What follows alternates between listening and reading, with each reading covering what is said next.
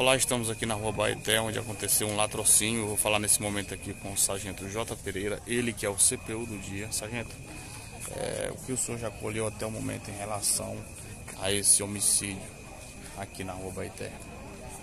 É, no momento, é poucas informações, até porque na hora do, do, que aconteceu o fato, na hora do acontecido, é, pouca gente estava na rua, ouviram algumas pessoas ouviram só um disparo de arma de fogo e características dos elementos segundo informações tem duas pessoas que avistaram mesmo mas estão em estado de choque inclusive é uma criança.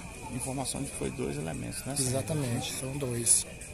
E a gente vai colher mais informações, mas desde, desde já. Desde já eu vi várias viaturas, quando eu cheguei aqui tinha muita viatura aqui no local.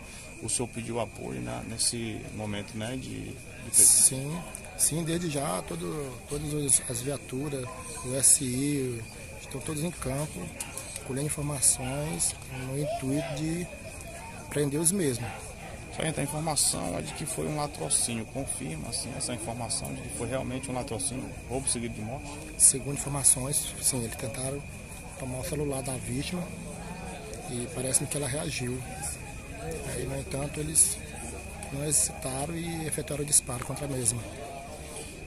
Obrigado, sargento. Covardemente por dois elementos. Sargento, a informação de que eles estavam de uniforme, né? Também colhi essa informação agora, procede?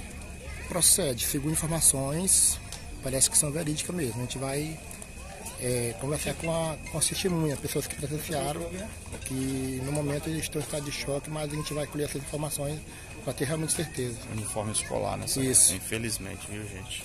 A vítima foi identificada como Edileuza Silva de Souza, 58 anos de idade.